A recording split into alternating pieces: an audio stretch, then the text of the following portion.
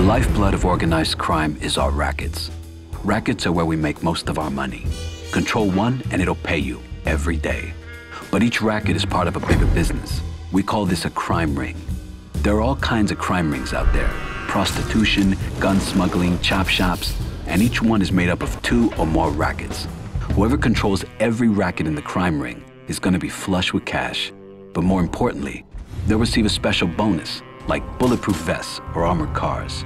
These bonuses are key to building an empire. You know this, and your enemies know this. So don't expect them to cooperate next time you pay them a visit.